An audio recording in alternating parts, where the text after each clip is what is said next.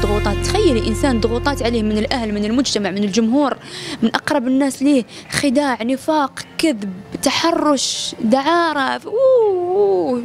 يا أخي أنا بشر دم ولحم. عندي هذيك عندي ذيك الساعة البكاء أو ساعتين؟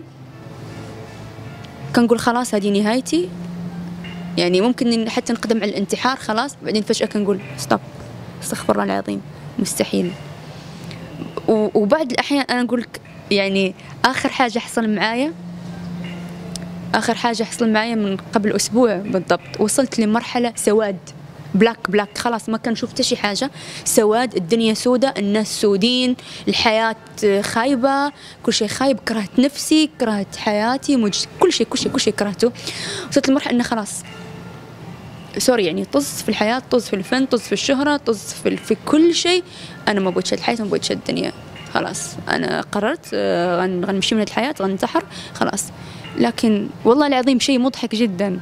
هو it's ironic مضحك وكيف كيف نفس الوقت؟ وقفت قدام المرايه غسلت وجهي وأنا نوقف وأنا نقول وئام واش أنت يا عبد الله قبل أسبوعين ضاربه هذا البوتوكس في الوجه وخاسره الزبابه الفلوس مشيت نتاحري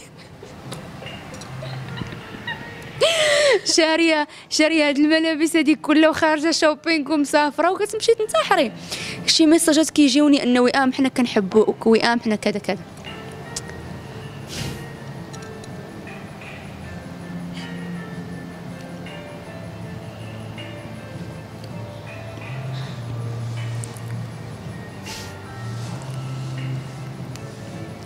سو حياة الفنان جدا صعبة صعبة بزاف سوري. سوري.